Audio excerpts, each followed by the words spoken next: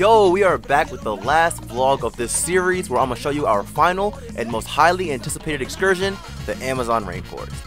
About half of Ecuador lies in the Amazon, and in this episode you will see all of our adventures through this majestic landscape.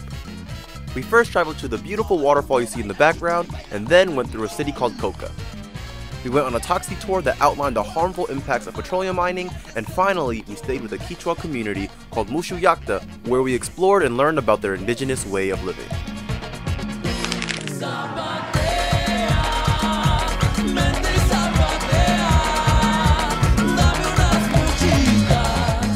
Vamos a comer bugs. Sí, claro. ¿Tú también? Mira. No. No,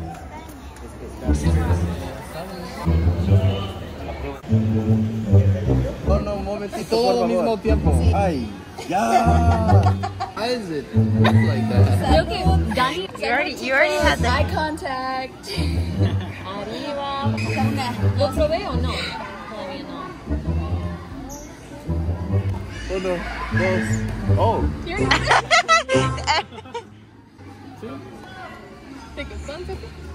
No es mala.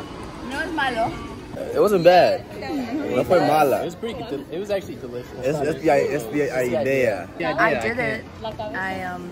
I can't. Yeah. It honestly wasn't terrible. No, it wasn't awful. Like if I had to eat that for the rest of my life, like I'd I get was used to it. I think I just have to get over the would eat it or texture.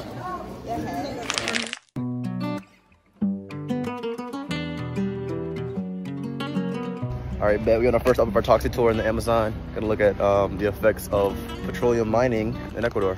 Let's do it.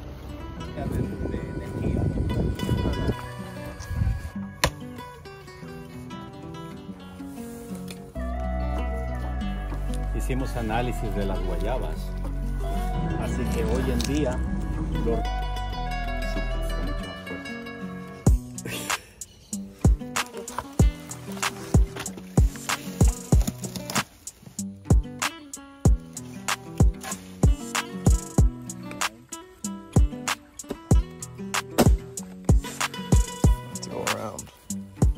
This is the water. Oh, contaminated water at the bottom of this house. Like everything that they eat, even like the chickens they have here, have like the ability to just like go down and eat some shit that's contaminated. We can't even put these in the trash. We have to bury these because it will contaminate the trash. Like that's how potent this these chemicals are.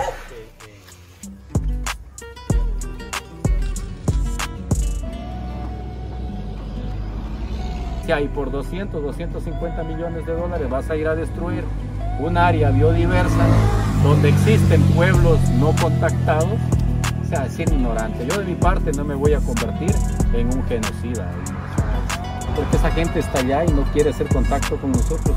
Porque viven bien. De mi voto es sí por el Yasuní y punto. ¿Sí?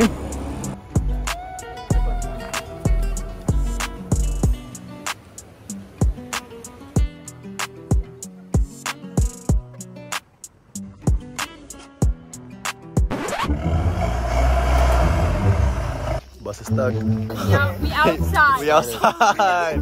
We outside. Oh, check us. There's a hole in the road, so we can't pass. I know, it's like that one time all over again. Oh my god, it is. Cut to it. Oh, oh, is it working? Yes!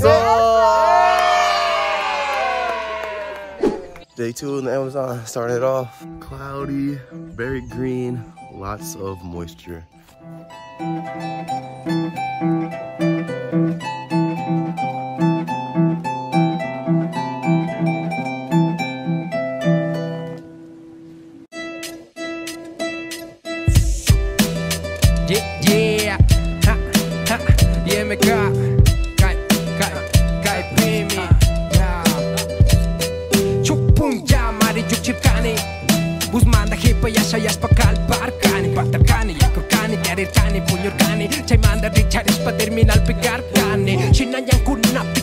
napaktak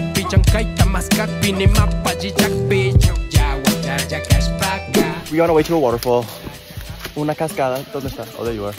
Oh hey.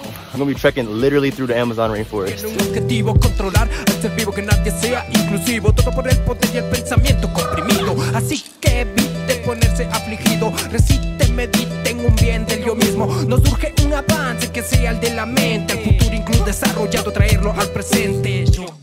Yukya, wakya, kashpaka, paikanya, dacha, kapisha. Yuka, dikusha, kang manda, kan rico, guiño, kamanda. Yukya, wakya, kashpaka, paikanya, dacha, kapisha. Yuka, dikusha, kang manda, kan rico, guiño, kamanda. Rehabilitando la conciencia que está en decadencia. Algunos quedando mal, ya es coincidencia. Claramente se ve que no hay ideología. All right, it's the last day here in the Amazon. We woke up this morning. Uh, we did a little minga. We were, we were mixing this uh, fertilizer mixture that they use to plant all of their um, different plants they use for food. But no, it's been a crazy experience out here in Mushiyakta. The people have been very nice, just so, so incredibly welcoming, um, teaching us all of their, their knowledge, their ancestral knowledge about medicine, about medicinal plants, medicinal herbs, their permaculture, how they collect seeds, how they propagate these seeds, how they grow, and how all of their food and everything they do is for the future generations. So they're not even gonna be able to see the fruits literally of their labor. But we're gonna head back today, back to Pintag, and then one more week, and we back in the US. So yeah.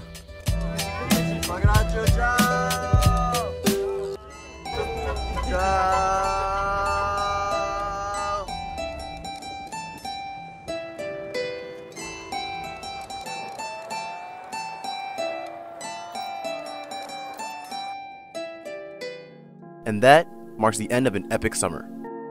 My time in Ecuador was a formative experience that showed me a whole other way of living. A way that is centered around community and harmony with the earth. Sumak Kawsay is what they call it. Good living. I can't explain how grateful I am to the community of Pintag and to the beautiful people I met along the way. Your openness and welcomeness is something I will forever appreciate.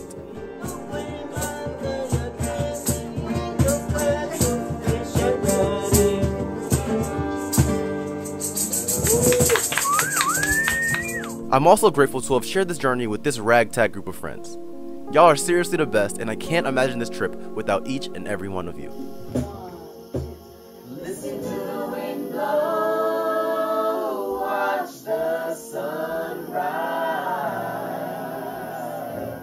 As we wrapped up our internships and prepared to leave this wonderful community, there was only one thing left to do party in the countryside. Contentos de estar aquí. Y esto dice aquí, otro ritmito ecuatoriano.